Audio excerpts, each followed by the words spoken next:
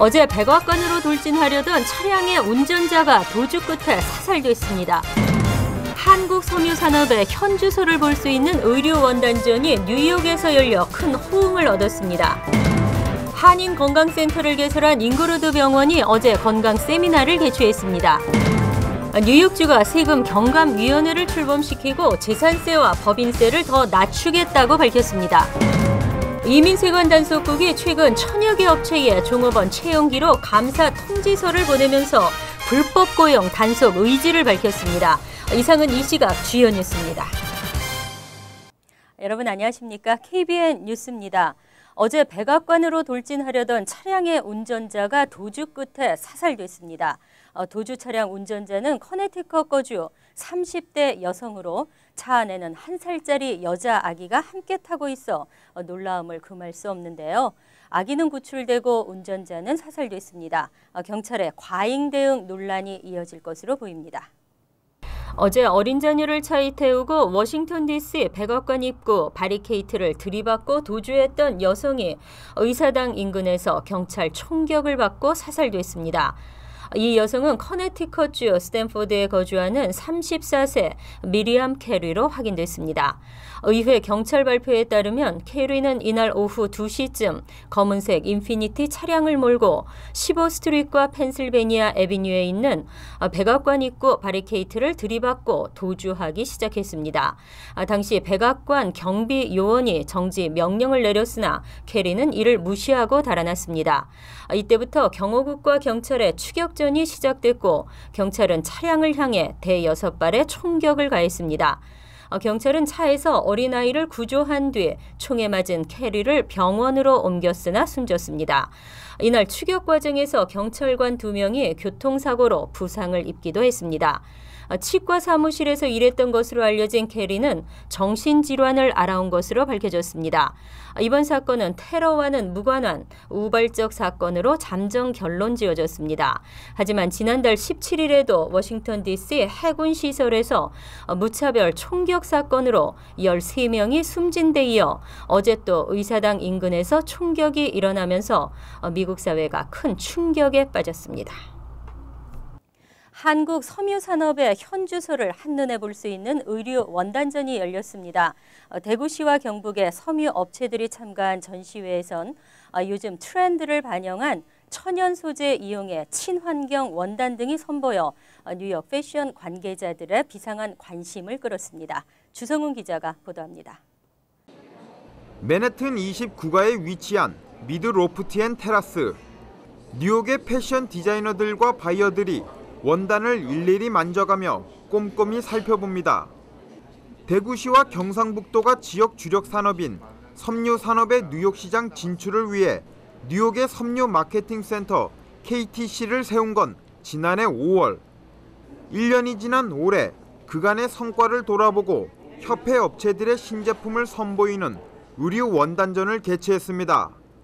KTC의 인지도 상승은 물론 협회 업체들의 매출이 두 배 이상 가파르게 상승하는 등 가시적인 성과를 거뒀다는 평가입니다. 작년에는 이제 우리가 어, 바이어를 발굴하는데 시간을 어, 많이 할애를 했고 올해는 900만 어, 불 정도를 목표를 하고 거의 그거는 뭐 다 달성하려고 초과 달성하려고 지금 그 기대를 하고 있습니다. 이번 원단전에선 최근 전 세계적으로 조명받고 있는 기능성 중시의 친환경 소재 원단들이 대거 선보여 한국 원단 산업의 우수성을 보여줬습니다. 아, 지금 이제 트렌드는 전체적으로 아무래도 환경이나 오염이나 이런 요소들이 굉장히 많기 때문에 전체적으로 소재의 그런 어떤 그 기능성을 가, 장 많이 중시를 하거든요. 그리고 미니멀한 요소에 약간 볼륨감 있는 소재들을 많이 선호하기 때문에 행사장을 찾은 바이어들도 한국산 원단에 찬사를 아끼지 않았습니다. 특히 한국산 원단의 높은 품질과 합리적인 가격, 그리고 제품의 다양성이 이들을 매료시키고 있습니다. The fabrications are very good quality, um, great pricing, um, and high, we have high standards, and we always get very good um, variety in base fabrics from Korean textiles. KTC는 앞으로도 세계적 유명 브랜드 디자이너들과 바이어들과의 지속적인 교류를 통해 한국산 원단의 우수성을 알리고 나아가 한국 디자이너들과의 교류에도 앞장서겠다는 계획입니다. KBN 뉴스 주성훈입니다. 어, 지난 7월부터 한인 건강센터를 개설하고 건강한 한인 사회 만들기를 노력하고 있는 잉그루드 병원이 어제 건강 세미나를 개최했습니다. 아, 당뇨병의 예방과 치료법, 오바마 케어 설명회 등 어, 유익한 프로그램으로 세미나가 진행됐는데요. 금홍기 기자가 취재했습니다. 잉그루드 병원 대강당에서 열린 한인들을 위한 건강 세미나. 한인들의 만성 질환인 당뇨병의 만성 합병증과 그리고 지난 1일부터 신청에 들어간 오바마 케어에 대한 궁금증을 세미나에 초빙된 전문 강사들이 일반인들도 이해하기 쉽게 풀어나갔습니다. 한인 커뮤니티에서 가장 흔한 질병 중에 하나인 당뇨에 대한 이야기하고 또 미국 전체에서 지금 가장 건강에 대해서 큰 이슈를 물고 있는 오바마 케어에 대해서 두 가지 큰 어, 주제에 관해서 집중 조명하는 시간을 가졌습니다. 당뇨병과 신장 질환에 대한 예방법 그리고 치료에 대해 설명한 스탠리 김 SBK 메디컬 그룹 대표는 탄수화물을 많이 섭취하는 한인들의 식습관으로 인해 당뇨병에 걸리는 경우가 많다며 식습관 조절을 통해 질병으로부터 미리 예방하는 것이 제일 좋은 예방법이라고 조언했습니다.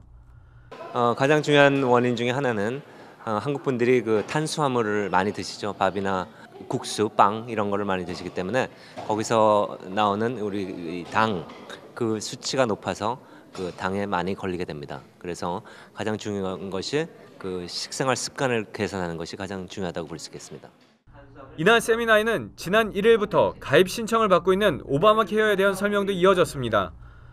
오바마 케어에 대해 설명한 SBK 메디컬 그룹 전재현 건강보험팀장은 내년 1월 1일부터 시행되는 오바마 케어는 가족 구성원과 수입 등에 따라 보험료가 다르게 적용되는 만큼 꼼꼼하게 미리 살펴본 후 보험에 가입하는 것이 중요하다고 강조했습니다. 우리 한인 커뮤니티에 있는 우리 모든 한인들 중에 어, 보험이 없거나 어, 이 건강개혁법에 해당이 되는 사람은 어, 미리 준비를 하셔서 진행이 빨리 될 때 미리 준비한 걸 가지고 2014년도 건강보험에 대한 준비를 해두는 것이 좋겠다 하는 게 저의 개인적인 소견입니다. 한편 잉그루드 병원은 오는 27일 일요일 오후 1시부터 유방암 알리기 걷기 대회를 개최할 예정이라며 한인 사회에 적극적인 참여를 당부했습니다. KBN 뉴스 금홍기입니다. 아, 뉴욕주의 감세 정책이 계속됩니다. 어, 적자에 허덕이던 뉴욕주 정부가 2015년이면 어, 균형 재정을 이룰 수 있을 것으로 전망되면서 어, 재산세와 법인세를 더 낮추겠다는 방침입니다. 하지만 감세가 예산 삭감으로 이어지면서 서민들에게 필요한 부문이 먼저 삭감된다는 점에서 우려하지 않을 수 없습니다. 앤드류 코모 주지사는 지난 3년의 임기 동안 시행한 예산 절감 정책의 효과를 발판으로 추가 감세 정책을 마련하기 위해 세금 경감위원회를 출범시킨다고 밝혔습니다. 아, 조지 파타키 전 주지사와 칼 맥콜 전 주 감사원장을 공동위원장으로 하는 세금 경감위원회는 추가적으로 감세 조치를 실시할 부문을 검토한 후 오는 12월 6일까지 주지사에게 권고안을 제출할 예정입니다. 아, 주지사는 이에 따른 감세 방안을 확정해 내년 1월 발표하게 됩니다. 아, 쿠오모 주지사는 첫 번째 임기 동안 소득세 조정안을 관철시킨 바 있습니다. 아, 내년에는 재산세와 법인세를 낮추는 데 주력할 것으로 보입니다. 아, 뉴욕주는 연간 510억 달러의 재산세가 부과돼 400억 달러의 개인 소득세를 훌쩍 넘었으며 이 가운데 기업이 내는 재산세가 170억 달러에 이릅니다. 어, 전국 조세 환경 순위에서 뉴욕주는 지난해까지 3년 연속 최하위를 기록했으며 이는 기업과 인구 유출의 주 요인으로 지목되어 왔습니다. 인구 유출을 막고 기업을 살리기 위한 세금 감면은 이른바 trickle down이라는 논리가 바탕을 이룹니다. 세금 감면이 투자로 이어져 경제 부흥을 이루고 혜택은 모든 사람들에게 돌아간다는 논리입니다. 하지만 최대 수혜자는 부자와 대형 회사, 최대 피해자는 서민이 될까 우려됩니다. 이민세관 단속국이 최근 천여 개의 기업에 종업원 채용 기록 감사 통지서를 보낸 것으로 알려지면서 어, 기업들이 비상입니다. 어, 특히 최근에는 업종이나 규모에 불문하고 무작위 불법 고용 단속이 시행되고 있어 고용주들이 긴장하고 있습니다. 어, 불법 고용 단속이 강화될 전망입니다. 어, 이민세관 단속국은 최근 천여 개의 업체에 종업원 채용 기록 감사 통지서를 보냈습니다. 통지를 받은 기업들은 통상 3, 4일 내에 I-9을 제출해야 합니다. 이때 이민세관 단속국은 추가 증빙 자료를 요구하거나 직접 현장 실사를 할 수 있으며 최근에는 현장 실사가 늘어나고 있습니다. 아, 또한 이민세관 단속국의 감사가 최근 업종이나 규모 그리고 지역에 관계없이 무작위로 시행되고 있습니다. 아, 모든 고용주는 종업원을 채용할 때 반드시 I-9을 작성해 보관해야 하며 이를 어긴 고용주는 경우는 건당 110에서 1,100달러의 벌금을 물게 됩니다. 아, 취업 자격이 없는 사실을 알면서도 고용했을 경우 첫 번째 적발 시 종업원 1인당 375에서 3,200달러의 민사상 벌금을 내야 합니다.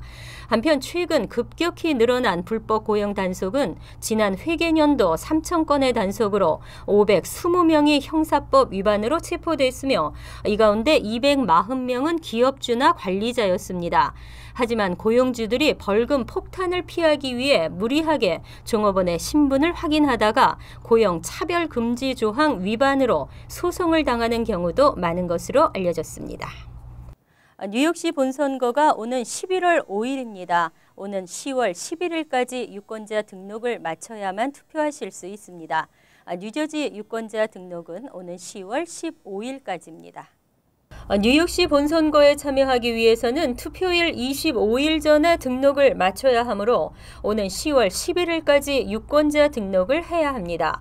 우편을 통한 부재자 투표는 뉴욕시 선거관리위원회에 부재자 투표를 신청해 투표 용지를 받은 후 투표일인 11월 12일 전까지 각보로 선거관리위원회에 우송하면 됩니다.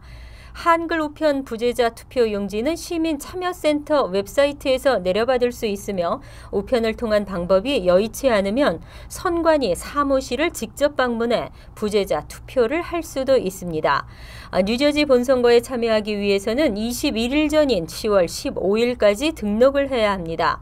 아, 당일 직접 투표를 할 수 없는 뉴저지 유권자들은 우편 투표를 할 수 있으며 우편 투표는 선거일 7일 전인 10월 30일까지 우편 투표 신청서를 선관위에 요청해 투표 용지를 선거일 당일 투표소가 문을 닫기 전인 오후 8시까지 선관위에 제출하면 됩니다. 아, 직접 카운티 선관위를 방문해 우편 투표 신청서를 요청할 수도 있으며 이 경우에는 4일 오후 3시까지 신청하면 됩니다. 아, 메트로폴리탄 교통공사가 최신 기술을 도입하고 고령화 시대에 발맞춘 장기 계획을 밝혔습니다. 아, 교통 정보를 얻으실 때 승차 요금을 지불할 때 안내판 이용 등이 승객의 눈높이에 맞춰 업그레이드 됩니다. 뉴욕 포스트는 어제 메트로폴리탄 교통공사가 1,060억 달러 규모의 뉴욕시 대중교통 시스템 업그레이드 계획을 밝혔다고 보도했습니다. 65세 후에도 일을 하는 뉴요커들이 늘어나고 은퇴를 한 후에도 뉴욕에 머물며 전철이나 버스를 이용하는 이들이 증가하면서 메트로폴리탄 교통공사도 승객들의 눈높이에 맞춘 서비스가 필요했던 것입니다. 아, 최신 하이 테크놀로지를 이용한 승객들의 이동 시간 단축 등도 추진합니다. 아, 전철 라인의 신호 시스템을 교체해 정체 없이 빠르게 전철이 운행될 수 있도록 한다는 방침입니다.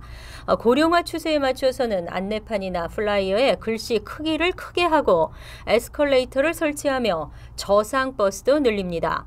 어, 청각, 시각장애인을 위한 시설도 늘릴 예정입니다. 이 밖에 승차요금 지불 방법도 업그레이드하고 실시간 교통 상황 정보 제공 시스템도 구축할 예정입니다. 어, 승객들은 메트로카드 스마트 칩이 내장된 전화기나 신용카드를 이용해 충전에 번거로움 없이 요금을 지불할 수 있습니다. 어, 또 뉴욕시가 자전거 이용을 적극 장려하는 만큼 버스와 전철에 자전거를 함께 실을 수 있는 있는 시설을 만들고 어, 여기에는 자전거 보관소를 세울 예정입니다. 이상으로 KBN 뉴스를 마칩니다. KBN과 함께 즐거운 주말 되시기 바랍니다.